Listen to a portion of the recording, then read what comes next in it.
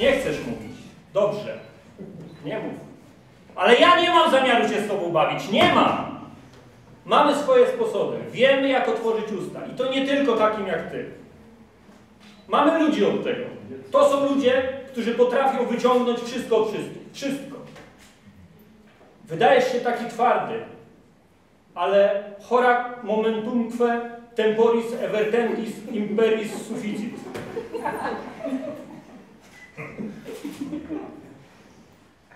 Ale myślę, że o tym nie będziemy rozmawiali tutaj, bo to nie jest dobre pomieszczenie. Zapraszam w nieco przyjemniejszym, wygodniejszym miejscu usiądziemy. Persona prima decedit autor permanent, czyli bohater odchodzi, twórca zostaje. Przed Państwem autor powieści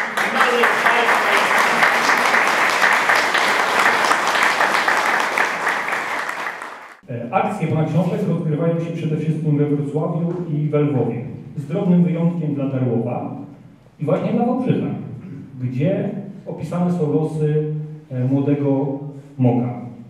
E, Proszę powiedzieć, skąd wziął się ten Wałbrzych? Czy Mok nie mógł urodzić się we Wrocławiu albo w innym mieście? Proszę Państwa, mimo że oczekiwałem tego pytania, mimo że wiedziałem, że jak będę w Wałbrzychu, to o Wałbrzych zostanę zapytany, to nie potrafię niczego sensownego odpowiedzieć. Naprawdę nie wiem, dlaczego tak się stało. I pamiętam, no to był rok 97, kiedy pisałem moją pierwszą powieść, Śmierć Breslau.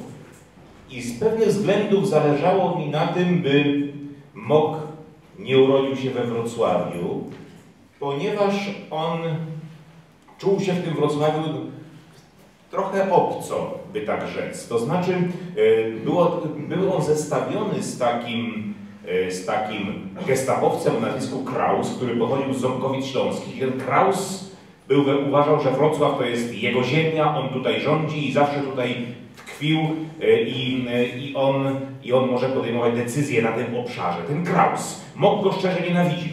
I chciałem zestawić Krausa, który pochodzi z Ząbkowic, a który jednocześnie zawłaszczył sobie Wrocław, z Mokiem, który nie do końca w tym Wrocławiu czuje się pewnie, bo ciągle jest, czuje jakieś takie piętno człowieka pochodzącego z innego miasta. Chciałem, żeby tak wyglądał mój bohater. I teraz pytanie, z jakiego miasta?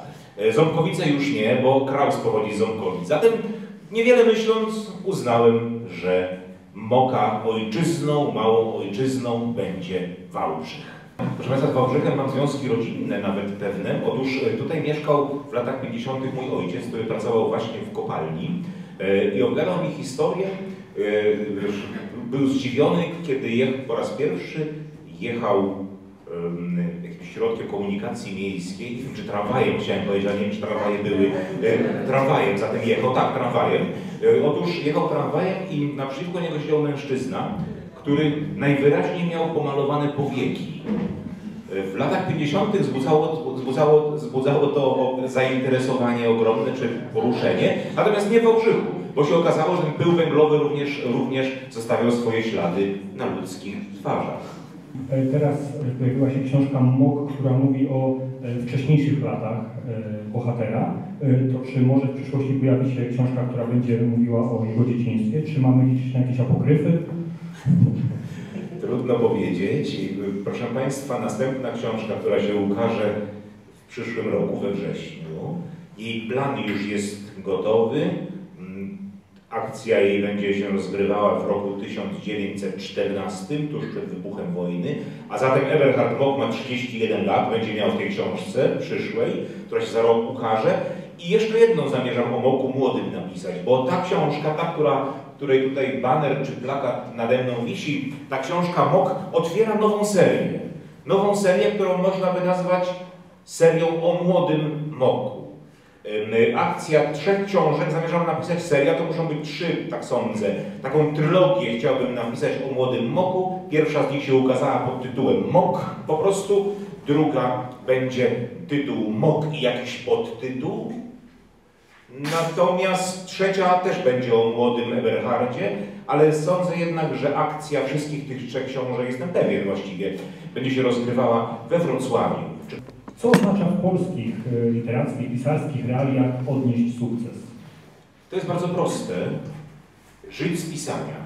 Ja żyję tylko z pisania, z tego, że co roku, co roku, ale podkreślam, z taką częstotliwością muszę pisać, żeby z tego żyć.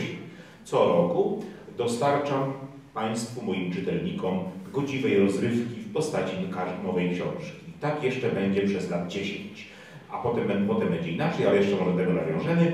Do tego wątku w każdym razie, w każdym razie yy, to znaczy żyć z pisania to jest sukces. Niedawno skończyłem lat 50 i będę pisał do 60, czyli jeszcze 10 powieści kryminalnych, proszę Państwa, kryminalnych.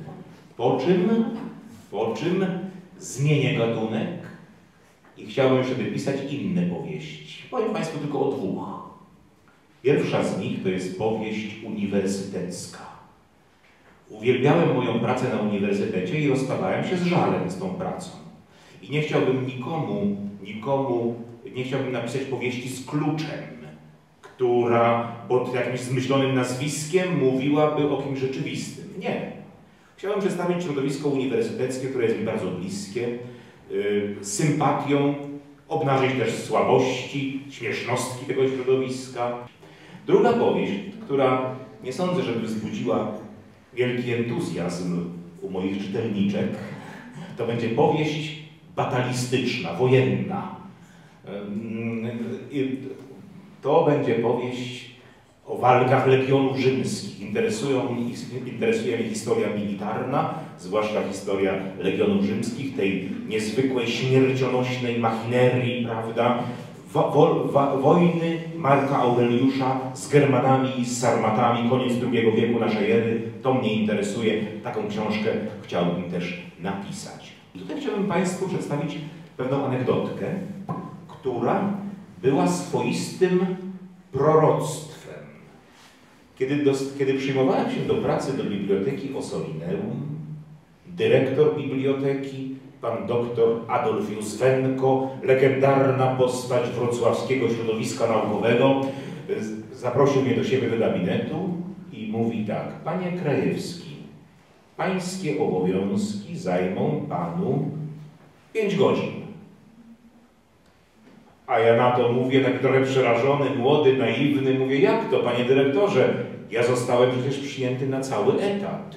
Mój etat wynosi 8 godzin. To co ja mam robić, jak te 5 już się skończy? A on na to spojrzał na mnie, patrzył na mnie długo, machnął ręką i mówi, jak dla mnie, to może pan nawet kryminały pisać.